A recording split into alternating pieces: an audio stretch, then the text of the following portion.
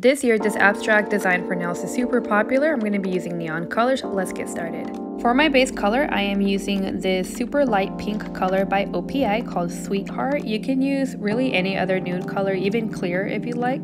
Then I applied a super thin matte top coat, the one by Gelish, um, just to have a better foundation to do my art on. The pink color that I'll be using is this one by the Gel Bottle Inc called Gilly, Jilly, something like that. And then the orange that I'm using is this neon orange by the Gelish called Rockin' the Reef. And for the design, you'll be needing a striper brush. I'm using Detailer number two by the Ugly Duckling. So before we get started, I just want to let you know that there's a lot of freedom to creating this look. There's uh, no wrong way of doing it. I'll tell you exactly what I mean in just a bit.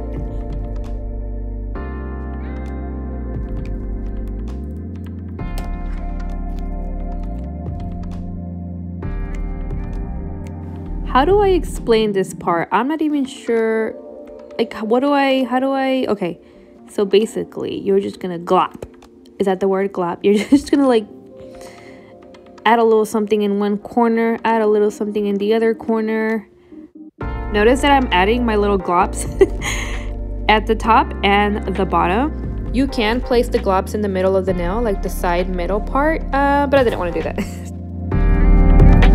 Now with a striper brush, you're going to add a tail to the end of some of these glops. Um, you just want to make sure that they look kind of round and swiggly. Um, doesn't have to be in any particular way really. This is just kind of what I'm doing.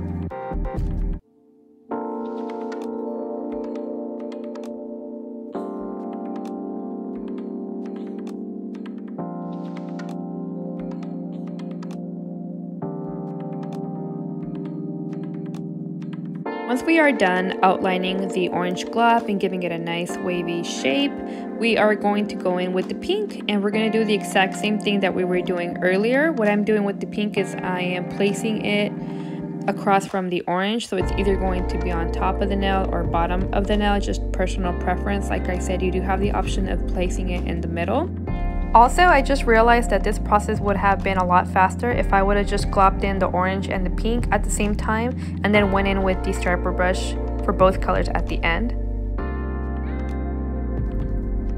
This is a perfect visual, so I'm giving it a tail on this corner and over here I'm making it more round. That's what you want to do with your glops.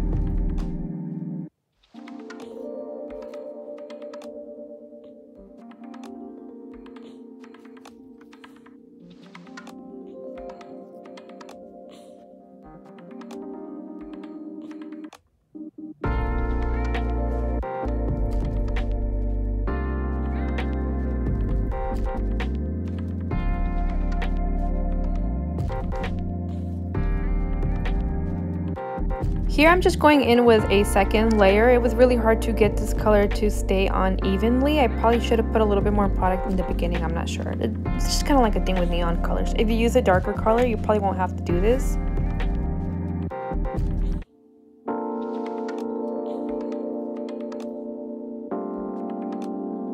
And there you have it. You can stop here or you can keep going and add more.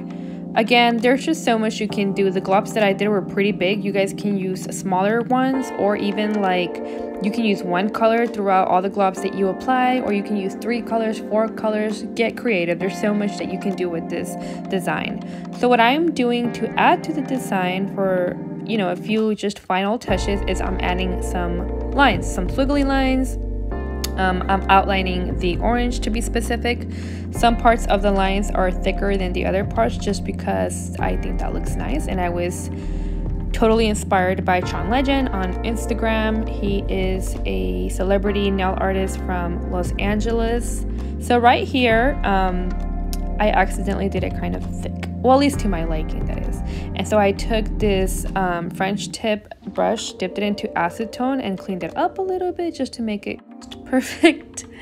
Okay, looking good. We could probably stop here if you wanted to, but no, I'm to keep going.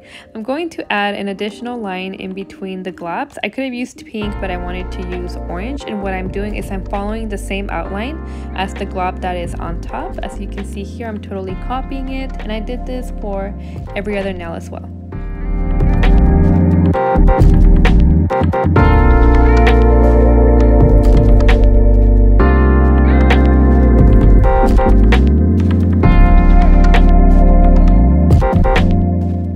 Here are the final results. I really hope you enjoyed this quick tutorial. I tried really hard and my best to explain it and I hope you try it for summer 2021. For more videos like this, subscribe to my channel.